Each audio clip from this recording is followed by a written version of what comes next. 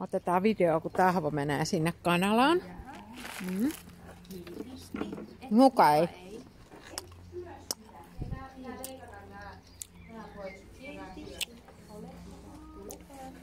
Tahvo voi mennä. Mennään vaan. Nuka ei.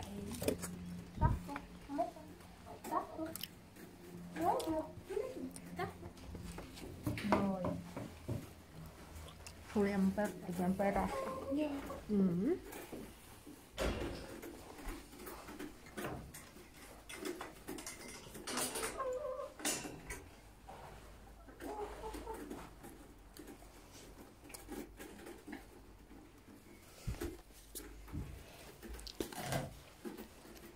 Otetaanko sustakin? Joo, nyt tulee hyvää kuvaa.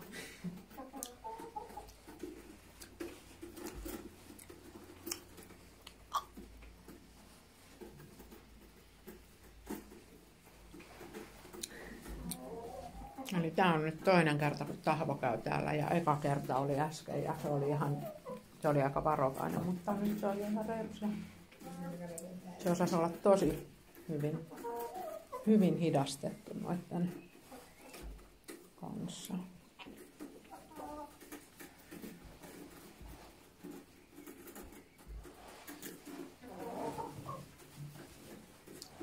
Noin.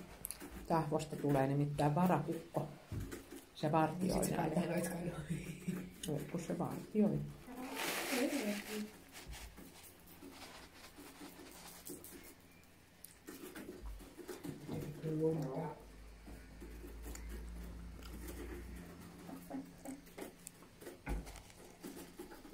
Hei Lempi.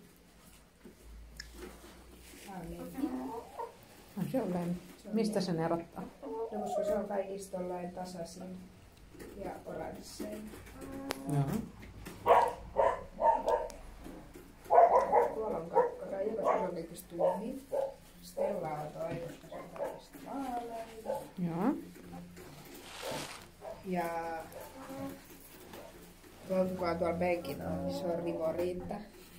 Mm-hmm. Joo. Mitähän hyvä, niin saadaan sitten